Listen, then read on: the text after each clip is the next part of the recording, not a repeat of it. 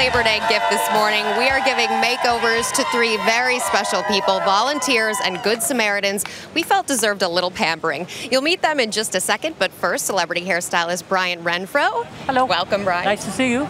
And we have Gilbert Soliz, the celebrity makeup artist here, who took care of all of these lovely ladies. First off, I want to bring you to Stephanie. Stephanie is standing here with us, and we'll take a look at her before shot for just a moment. Stephanie has helped so many people. She's cared for the families of the disabled, she's cared for loved ones, and she is here with us now in her new look. And I want to begin with you, Brian. What did we do with Stephanie's beautiful new look? It well, looks first fantastic. of all, what you can't see is the picture because her hair was pulled up, is that her hair was about halfway down your back, right, Stephanie? Yeah. And so we got rid of that, and she she showed me some pictures. She wanted it sort of piecey, layered at the bottom, not too short on the top. So I did that and just blew it dry with a big round brush, and it'll be easy for her to keep. And I think she looks so beautiful. She looks fabulous. How do you feel? I feel good.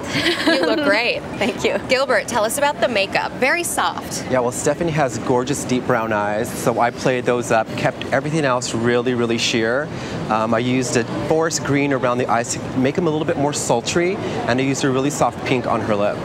Stephanie, how does it feel to be pampered in light of the fact that so much of your life is spent taking care of others? Well, it feels really, really good, and I honestly have never done that before. so, well, we're so happy great. you could join us and do it here with the early show because you look fantastic, and thank, you Thank for all you. that you do for communities.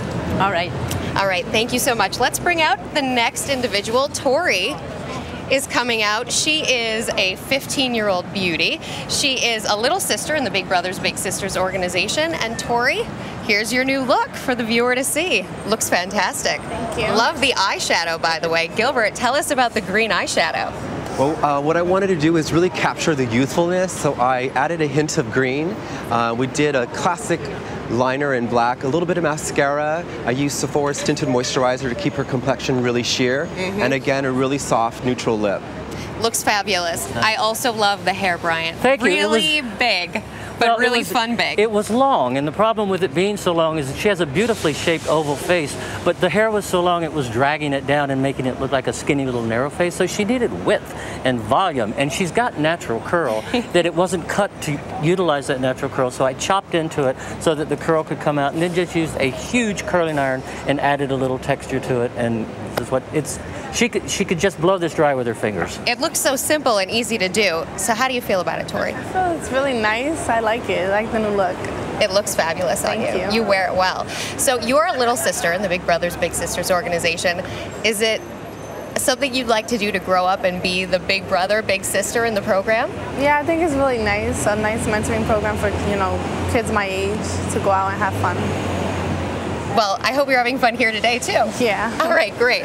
Well, it's Okay. great to see you, and uh, thanks so much, guys. You did a fabulous job with Tori. Tori, we will see you in a few minutes, but we want to bring out our next guest, Erica, who is coming out. Your son, Erica, has been ill. You have spent a lot of time caring for him, and you are here with us today. Yes.